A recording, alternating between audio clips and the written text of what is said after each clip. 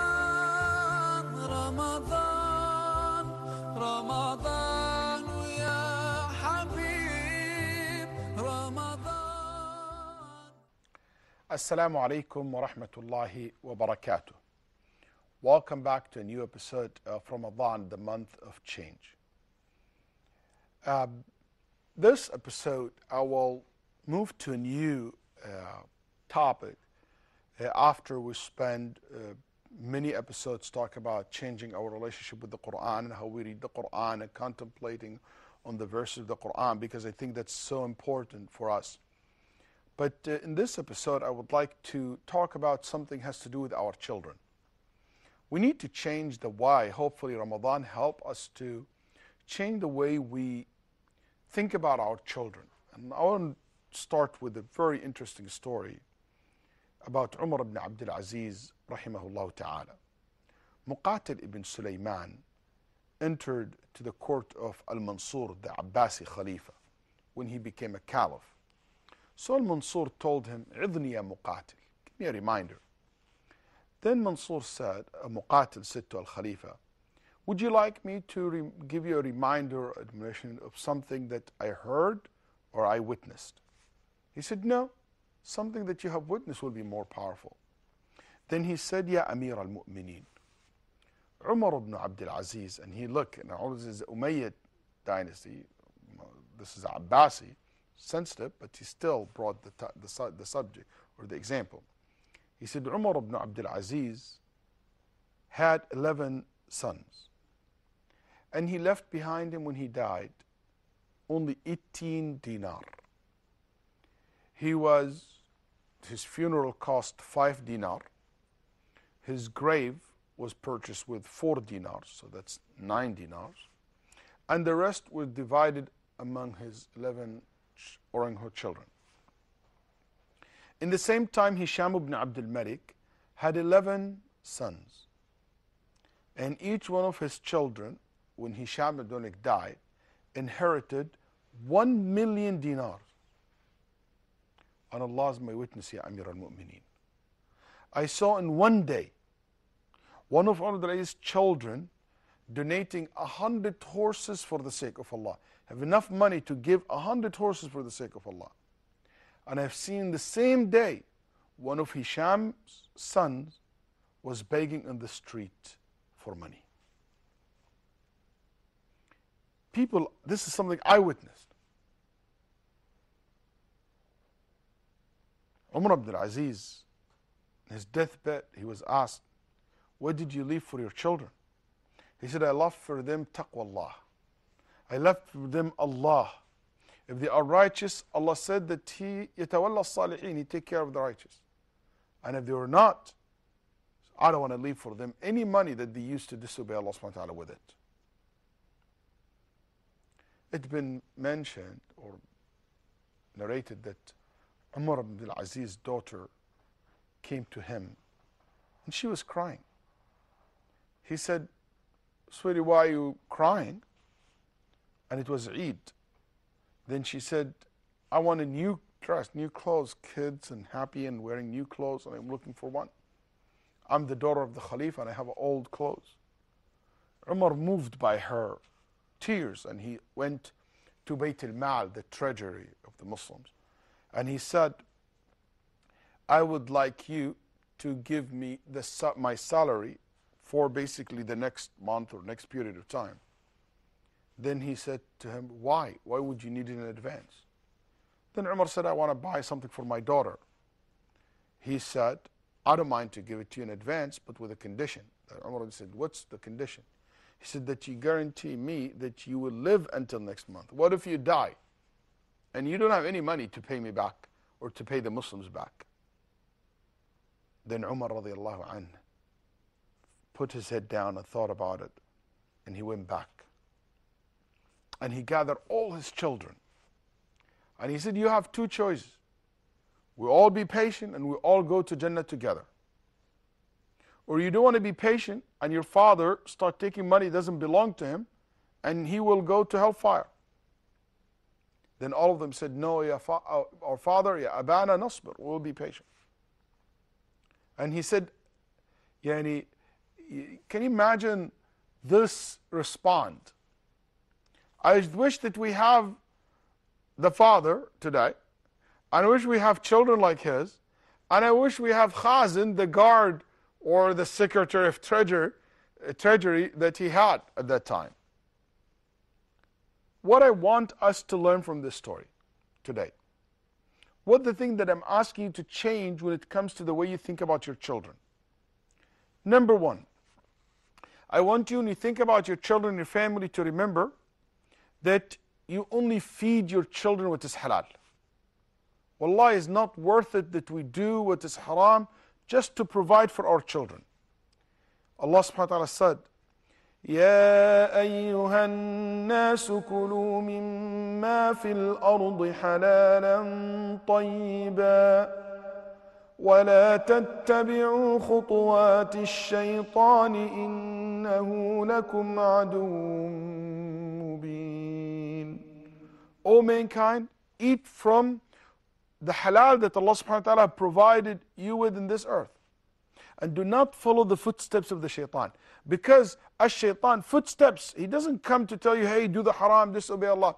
Step by step, hey, your children need that, you're doing it for a for better reason, you this, justify that, there is khilaf about this, you know, there's some ulama said it's okay. And by, step by step, you find yourself completely far away from the halal. You're in the middle of the haram. Make sure that you don't ever seek Allah's provision by disobeying Him.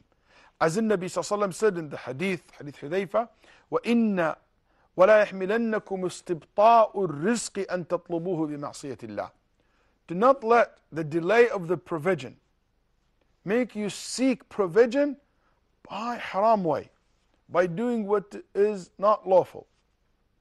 فإنه لا يدرك ما عند الله إلا بطاعته. You only get what Allah has by obeying Allah subhanahu wa ta'ala. And this hadith reported by Al-Bazzar and authenticated by uh, scholars or some scholars of hadith like Al-Mundiri and others. Uh, in Nabi Sallallahu in, in, a most, in a more authentic narration, Sahih Muslim, he said, a man traveling, making dua, and Allah will not accept his dua. Why?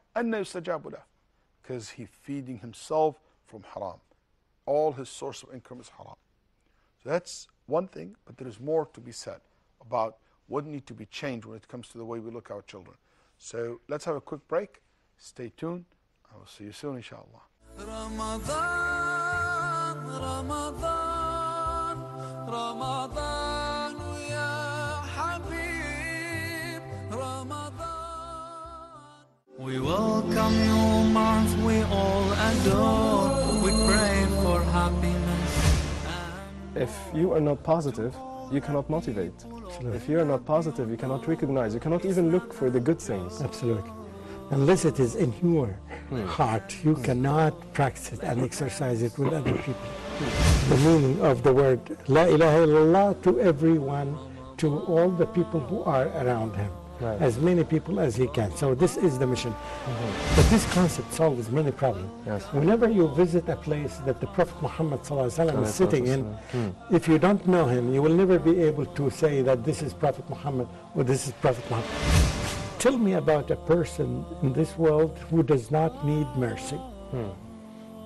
Mercy is a key way or a key word for healing the hearts of human beings. What happens is they get so many rejections, but they feel so bad about themselves. They don't know that what's been rejected now is your current skills, your current experience, which by time and effort can develop. Yeah.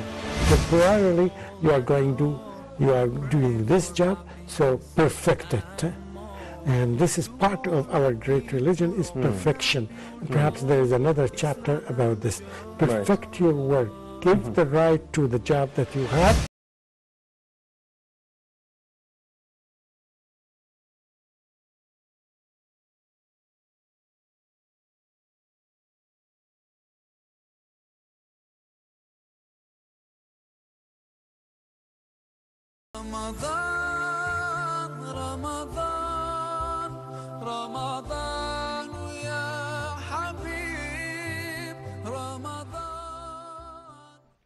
Assalamu alaikum wa rahmatullahi wa barakatuh. Welcome back to uh, a new episode of your program, Ramadan is the month of change.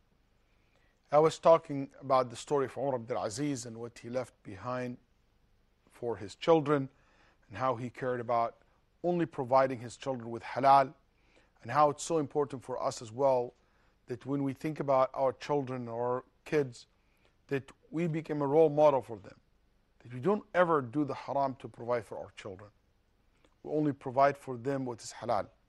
We want them to be risen by with, with the halal provision not suht not haram wealth. There's no barakah in, in such wealth. And it's not worth it that you go to hellfire for that. Uh, one things that I really would like to cite that a lot of people work so hard and really appreciate and respect every hardworking father and mother who trying to provide for their children and to make sure that they are uh, uh, living a very comfortable life and to secure their future financially. I understand that. And Nabi Sallallahu said it's much better to leave your children wealthy than to leave them poor, asking people and begging people for help. Absolutely.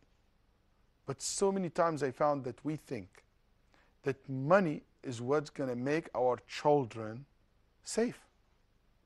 And money is what our children need the most. Sometimes we think that it's all about wealth, it's about money. And in the process of seeking this money, we lose uh, uh, things which is much important or more important than money. وليخشى الذين لو تركوا من خلفهم ذرية ضعافا خافوا عليهم فليتقوا الله وليقولوا قولا سديدا Those who would leave behind them weak offsprings, weak children, weak in their religion, weak in their iman, weak in their manners, weak in their understanding of the religion. What's the point if you leave behind you a lot of money, but you did not leave behind your children who knows how to deal with life. Don't know the value of the akhirah. don't know the value of Jannah. Don't fear hellfire. Don't respect Allah. What you gain if you make them respect money, but they don't respect the rules of Sharia and Islam. Sometimes we think that this is the most important thing, that to have a good schools and make sure to provide them. Yes, that's important. But you know what's more important than that is to make sure that they will be safe as well in the akhirah. You know, they said this uh, uh, boat had three guys in it. And uh, the, basically, the, the guy who owned the boat, and he's a simple fisherman. And with him, two guys so arrogant. One of them said, I have a PhD in, in physics and I'm smart, I did this and that. The other guy said that he is, so the first one is an inventor and very high educated. The other one, very rich, very smart, very successful businessman. And they start showing off in front of that simple fisherman who owned the boat, who took them in a fishing trip. But guess what? A hole happened in the boat and the boat starts sinking. So the fisherman starts swimming toward the shore. Looked back and he found the physicist and the businessman sinking. What happened? They said, We don't know how to swim. Let their degrees and their wealth benefit them at that point. Didn't help them at that point. The simple fishermen survived and they didn't. What mattered the most, what make you survive in the akhirah. I'm not saying, I'm not dismissing the importance of education. No, a'udhu billah. But what I'm saying that unfortunately, when we deal with our children, we think about money as the most important thing. You know, more important than money, tell them what's the value of money, the skills that make them know how to deal with money. That's important. Make sure that you leave your children with, or you teach them from early time, principles in life. Respect these principles, code of ethics. Make them know how to respect others, how to be content with what Allah subhanahu wa ta'ala gave them. The real value of money is not a master, it's a servant. The real value of the dunya, the real value of the religion, the real value of the akhirah, the importance of virtue, the importance of sadaqah, charity, the importance of good quality and, and character trait like generosity, forgiveness. Teach them how to uh, uh, uh, learn how to be merciful, respectful to others. How what Allah subhanahu wa ta'ala protect your children with the most. The value of time.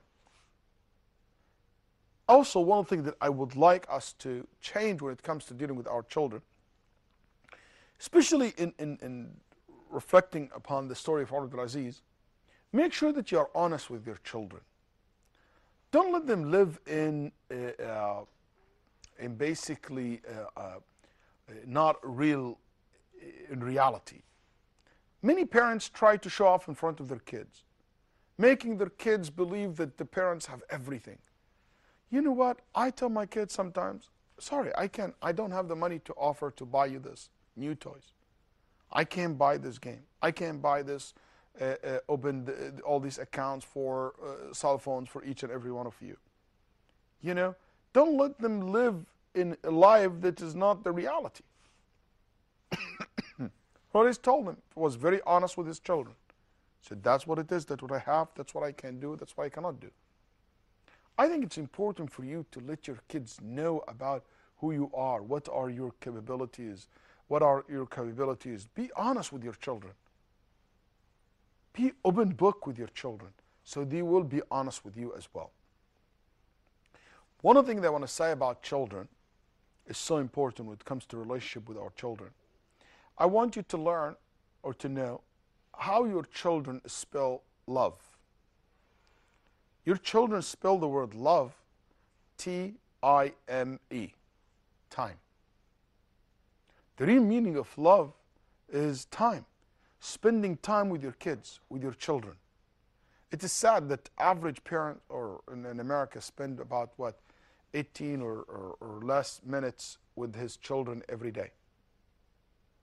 And, and this is across the board. Unfortunately, we don't spend time. And now, when we are even sitting together in dinner, every kid's like busy with their social media and their gadget, and we don't look. Parents, mother, father, they don't spend time with their kids. In the car, watching TV, in the in the van, you know, playing movies, and, and that's all what they do. They don't talk to each other. They maybe scream at each other sometimes, but we don't spend time together. And when we do, we don't connect.